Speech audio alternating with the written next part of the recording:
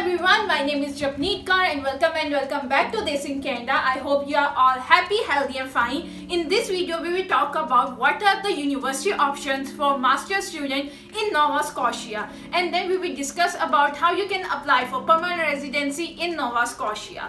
So without any further ado, let's start our video. And the first and the top university in Nova Scotia for master's student is Dalhousie University.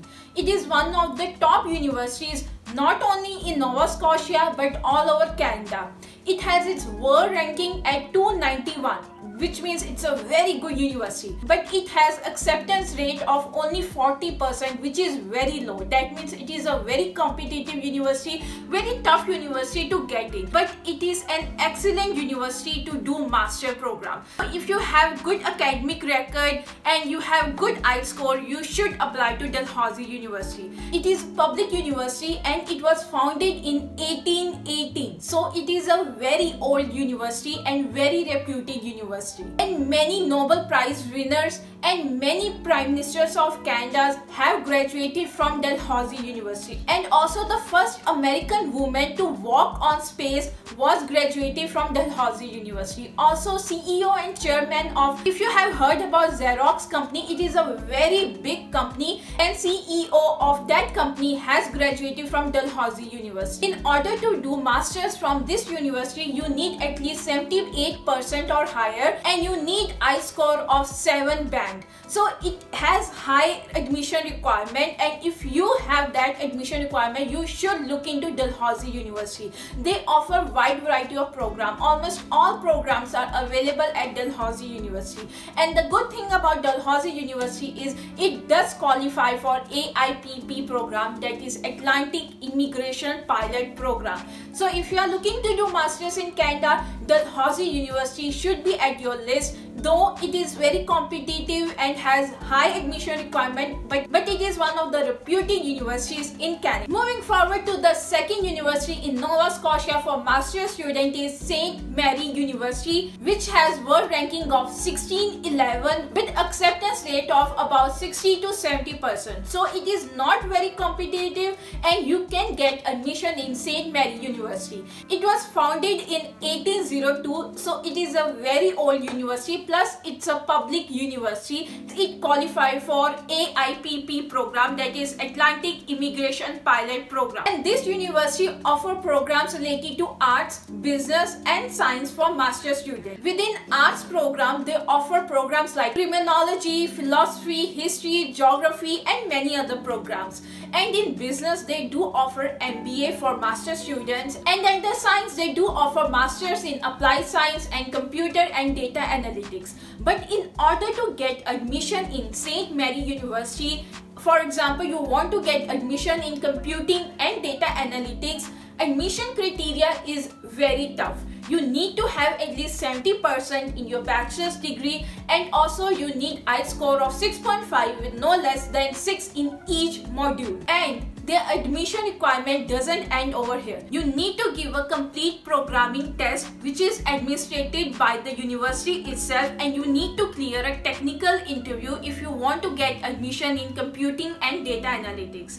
If you want to get admission in MBA, you need to have I score of 7 instead of 6. So do check your program specific requirement because it does vary from program to program. And there are many notable people who have graduated from St. Mary University. And the next two universities which we will be going to discuss today and I will be completely honest with you guys is that they are not very specific to master's program. They don't have a lot of master program. These universities are predominantly undergrad universities but they do offer some of the master's program which I want to discuss with you guys. So if these universities have the program you are looking for, they are good university but keep in mind they don't offer a lot of master program and the third university in our list today is Acadia University. And the world ranking of this university is 1910 and the acceptance rate is very high which is 60 to 70 percent. But they don't offer a lot of master program. They only have 17 master's program which include computer science, biology, geography, education and their other programs.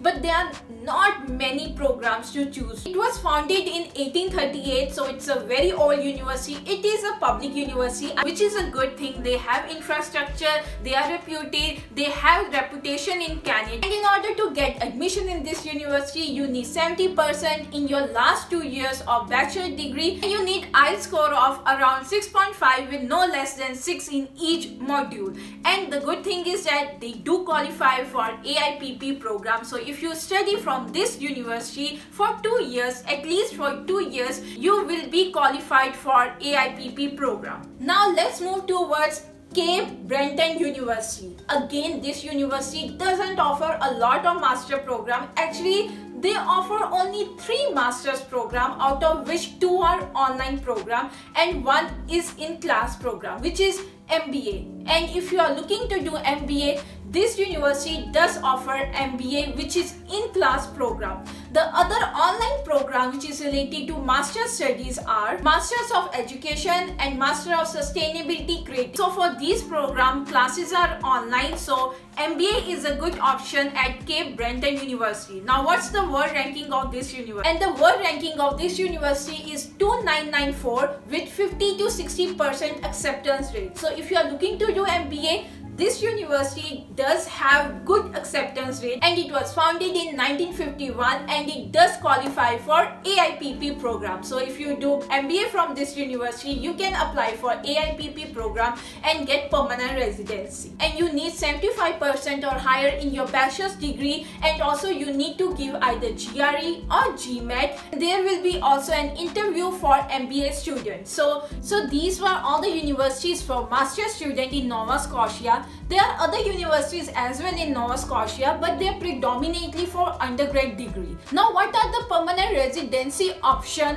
for the student who graduate from Nova Scotia? You can apply for permanent residency by two ways. That is Nova Scotia nominee program skilled worker stream and the second one is Atlantic Immigration Pilot Program. As I have told you, all the universities does qualify for AIPP program that is if you have studied from any of these four university and there are some things to carefully look at AIPP program and if you have studied from this university you can apply for AIPP program. Now I have discussed in detail about AIPP program in my new Brunswick video. That video is very detailed. So if you are looking to apply for AIPP program after getting graduating from any of the Atlantic province, you should really look at that video. I will highly recommend you should look at that video. It provides detailed requirements on how you can apply for AIPP program. But the other way to apply for PR after you get graduated from Nova Scotia or any other province in Canada is Nova Scotia nominee program for skilled workers. So under this program, you need full-time permanent job offer letter from Nova Scotia employer. Keep in mind the employer should be in Nova Scotia. If you have graduated from any other province, you need to find the employer in Nova Scotia. You need to have permanent full-time job. It should not be contract, it should not be part-time. And also you need at least one year of job experience in the field you have studied. So in the field you have studied, you should have job experience in the same field. But the good thing is that you don't need a high IELTS score. If you are a skilled worker, you need IELTS score of 5 in each module. If you are applying under semi-skilled or low-skilled, you just need IELTS score of 4 in each module. Very less. If you have to apply in Ontario, British Columbia, you need at least IELTS score of 6 band, which is very high. But IELTS score of 5 5 and 4 is very low and it's easy to achieve. And at the end, you also need to show financial resources that you can sustain yourself in Nova Scotia. But now what's difference between these two streams? What is difference between applying through Nova Scotia nominee program under skilled worker and also Atlantic immigration pilot program? So the major difference is that firstly under AIPP program, you don't need any job experience. But under Nova Scotia nominee program for workers stream, you need at least one year of job experience. You need job offer letter under both the stream. Under both the programs, you need to have job offer letter. For both the stream, you need job offer letter from an employer, but you don't need any job experience under Atlantic Immigration Pilot Program. So if you have graduated from any of the Atlantic province and if you have a job offer letter that is permanent and full-time job offer letter, you can apply directly under AIPP program. You don't need to wait for whole one year in order to apply for permanent residency. That means you will get your permanent residency but under AIPP program you need to have your either degree, diploma or certificate anything of at least two years and your studies should be of at least two years or more. But under Nova Scotia nominee program under skilled worker stream, there's nothing like that. You just need to have a high school diploma. For reading, you need 3.5. For listening, you need 4.5 and speaking and writing, you need 4 band in your IELTS general test. So keep in mind you have to give IELTS general test. Whereas if you are applying for Nova Scotia nominee program for skilled skilled worker, if you are applying under skilled category, need I score of 5 in each module. If it is semi-skilled or low skilled, then you need I score of 4 in each module. Definitely AIPP program has less IELTS requirement than the other stream but it is totally up to you if you can get one year work experience you can apply through Nova Scotia nominee program for skilled worker if not if you don't want to wait for one year and you have job offer letter from you can apply for Atlantic immigration pilot program. And the processing time for AIPP is 6 months as specified on their website. Now the decision is completely up to you. You know what are the universities which offer master program in Nova Scotia and you know how you can apply for permanent residency after you graduated from Nova Scotia.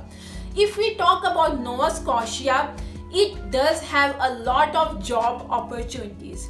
It is a very developing province it has lot of job opportunities whether it is part-time or full-time. You will get lots of opportunity for job after you get graduated from any of these universities i will be also making a video on nova scotia college and also manitoba college in future. So do subscribe if you are looking for colleges in nova scotia manitoba or any other province. I will be making lots and lots of video. So please do subscribe and the like button and also share this information with your friends who are also applying and and at the end thank you all for watching my video. I hope you like this video and i will see you in my next video. Till then take care and bye bye